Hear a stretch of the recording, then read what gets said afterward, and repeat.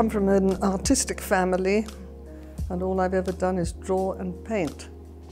I like to draw and I like to paint and I like particularly oil paint and I like to draw with charcoal and I like to work with metallics which makes my pictures change depending on the time of day which is quite exciting. I live in a place that is steeped in beauty.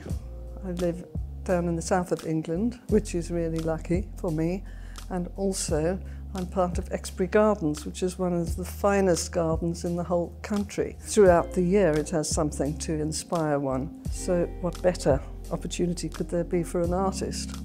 Right now is the springtime and the place is alive with azaleas and rhododendrons, which are all uh, many award-winning fabulous rhododendrons that were hybridized by my husband's grandfather, Lionel de Rothschild. In fact, it's exactly 100 years since this family arrived in Exbury. And so we've been having many celebrations for that. We also are right on the Beaulieu River, which is an extraordinary place and just gorgeousness, really. And I like to paint beautiful things and I like to look at beautiful things. What more could a girl want?